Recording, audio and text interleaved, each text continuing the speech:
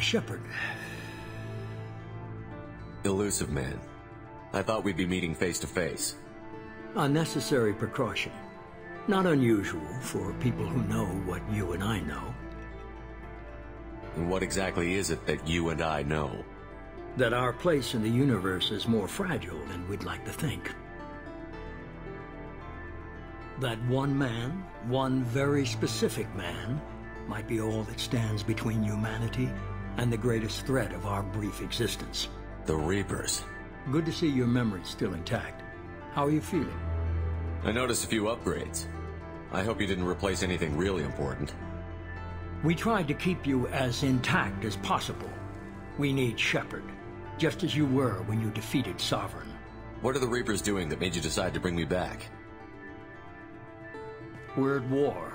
No one wants to admit it, but humanity is under attack. While you've been sleeping, entire colonies have been disappearing.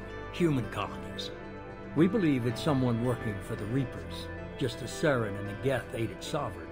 You've seen it yourself. You bested all of them. That's just one reason we chose you. If you're after the Reapers, just point me in the right direction. Miranda was worried you'd be resistant. She's not usually wrong. I have a shuttle ready to take you to Freedom's Progress, the latest colony to be abducted. Miranda and Jacob will brief you. I'll get what you're looking for and be back before you know it. Good to hear it. Find any clues you can. Who's abducting the colonies? Do they have any connection to the Reapers? I brought you back. It's up to you to do the rest.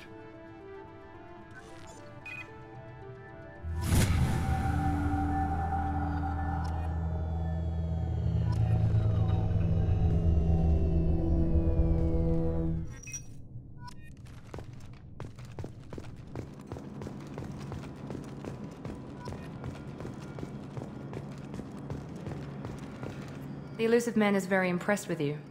I'm eager to see if you can live up to his expectations on this mission.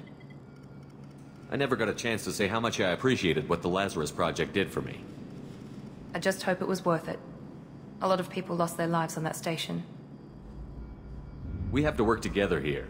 Your attitude isn't helping anything. I have the utmost respect for your abilities, Shepard. It's your motivations that concern me. I believe in what Cerberus stands for.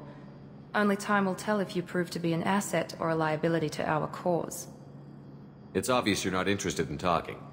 We've got an assignment. We can talk about it or we can do it. I'm glad the Illusive Man convinced you to join us, Commander. I just want to find out what happened to those missing people. I still don't trust Cerberus. Noted. Do you trust me, Commander? You're a good man, Jacob. But you might be working for the wrong people. Maybe. But I thought the same when I was with the Alliance. That's why I'm here now. Do you know anything about this colony we're going to? It's called Freedom's Progress. Don't know much else. I guess we'll find out when we get there. You said you served in the Alliance? Five years in total. Stationed all over the galaxy.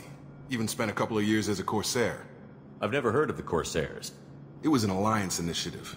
They hired independent starship captains and used them for missions that fell outside official Alliance jurisdiction.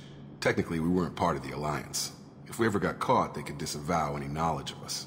We were supposed to be free from restrictions and rules, but there was still enough red tape to sink a cruiser. I finally just gave up. Why did you join Cerberus? I guess I just got tired of never making a difference.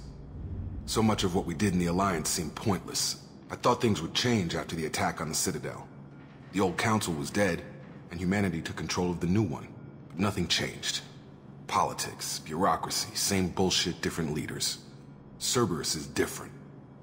When colonies go missing, we don't commission a team to write a report to figure out what the hell to do about it. We just go and find out. That's all for now. Yes, sir.